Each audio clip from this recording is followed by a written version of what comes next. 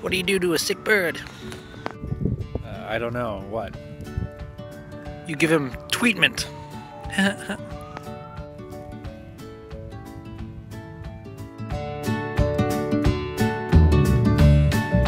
It's like so stupid, it's not even funny. How do birds get stronger? Exercise. Okay, alright, alright. That's pretty good. What do you call a crate of ducks? A box of quackers. quackers, get it? I'm just. I'm done. Why did Mozart get rid of his chicken? Because he kept saying, bok, bok, bok, bok.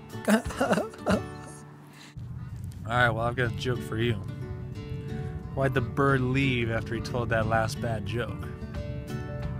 Because he was gonna get beat up and he was too chicken to stay. well, I bet it's time to fly. fly.